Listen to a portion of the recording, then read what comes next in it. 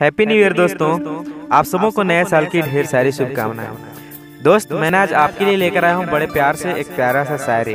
तो चलिए, देर न करते हुए शायरी को स्टार्ट करता हूँ।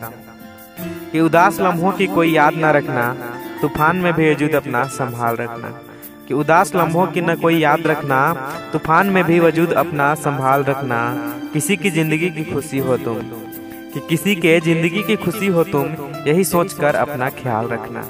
यही सोचकर अपना ख्याल रखना। हैप्पी न्यू ईयर दोस्त। आप सबों को नए साल की ढेर सारी शुभकामनाएँ।